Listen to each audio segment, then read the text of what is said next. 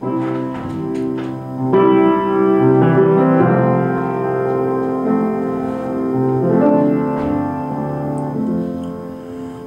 the worst of our troubles has mastered our days, we see dark.